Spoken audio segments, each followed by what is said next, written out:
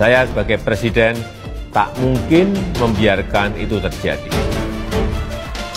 Indonesia, the world's largest exporter of palm oil, is halting exports of the cooking oil starting Thursday, citing a need to quell domestic shortages as well as rising prices. However, as one of Indonesia's biggest customers, it is feared Jakarta's move will negatively impact consumer prices here in South Korea.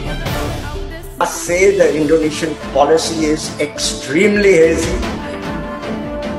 Indonesia has decided to ban exports of cooking oil and its raw materials to reduce domestic shortages. Saya ingin menegaskan bagi pemerintah kebutuhan pokok masyarakat adalah yang utama.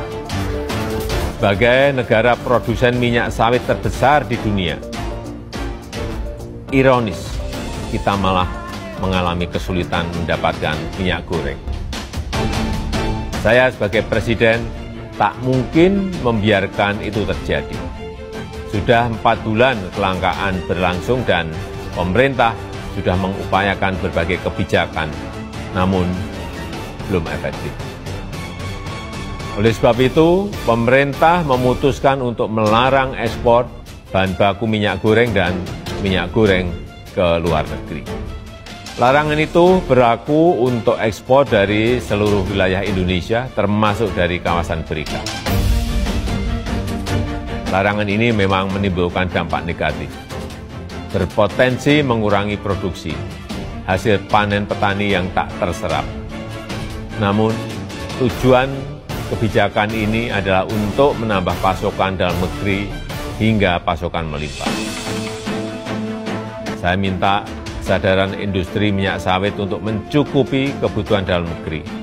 Prioritaskan dulu dalam negeri, penuhi dulu kebutuhan rakyat. Semestinya, kalau melihat kapasitas produksi, kebutuhan dalam negeri bisa dengan mudah tercukup. Volume bahan baku minyak goreng yang kita produksi dan kita ekspor jauh lebih besar daripada kebutuhan dalam negeri. Masih ada sisa kapasitas yang sangat besar. Jika kita semua mau dan punya niat untuk memenuhi kebutuhan rakyat sebagai prioritas, dengan mudah kebutuhan dalam negeri dapat dicukupi. Begitu kebutuhan dalam negeri sudah terpenuhi, tentu saya akan mencabut larangan ekspor